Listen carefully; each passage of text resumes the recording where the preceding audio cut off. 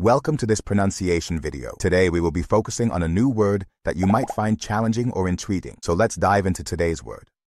Gingrich, which means a surname associated with Newt Gingrich, American politician and former speaker.